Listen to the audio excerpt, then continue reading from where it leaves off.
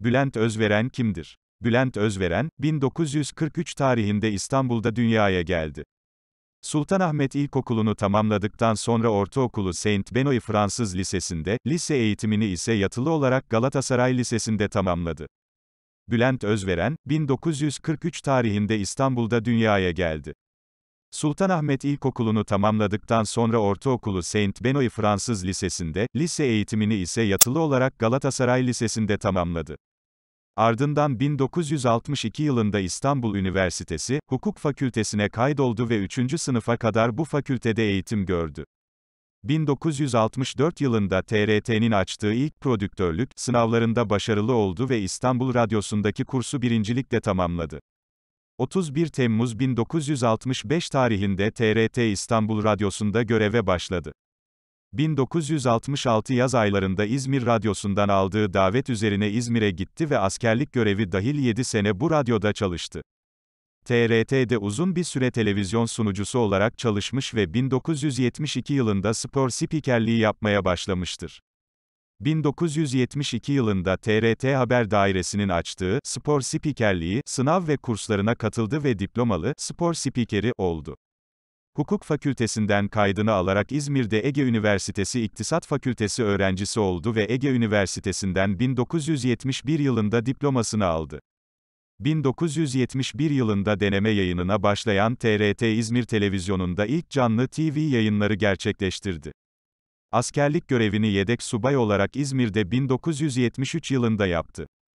1974 yılı başından itibaren 6 ay süre ile Ankara Televizyonu'ndan pazar geceleri canlı olarak yayınlanan Spor Stüdyosu programlarını sundu.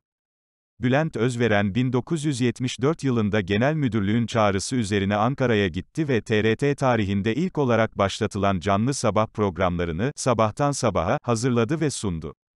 1975 yılından itibaren Ankara Televizyonu kadrolu yapımcı sunucusu olarak yüzlerce canlı yayında görev yaptı.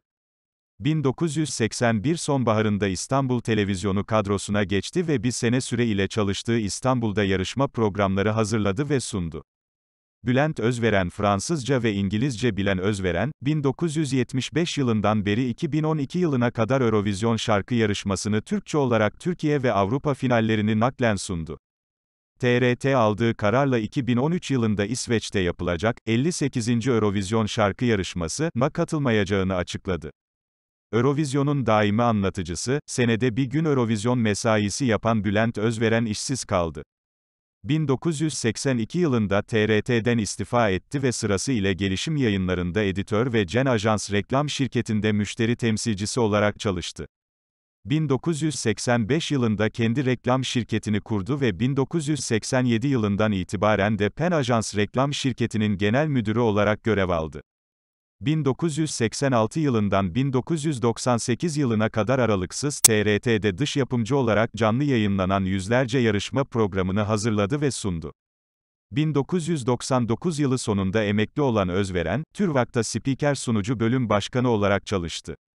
İstanbul ve Bursa'da çeşitli kurslarda öğretmenlik yaptı. İzmit Sanat Merkezi ve Başkent İletişim Merkezi'nde, spiker sunucu, bölümlerinde usta öğretici olarak derslere girdi ve etkili ve güzel Türkçe konuşma konularında çeşitli ite ve kuruluşlarda konferanslar veriyor. Bülent Özveren 2002 yılı başında bir süre Ege Televizyonu'nda genel müdür olarak çalıştı.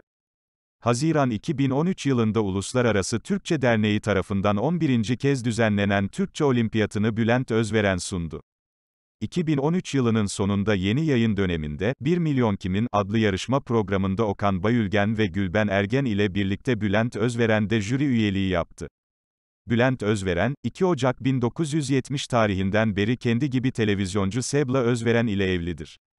En yeni gelişmelerden anında haberdar olmak için kanalımıza abone olmayı ve bildirimleri açmayı unutmayın.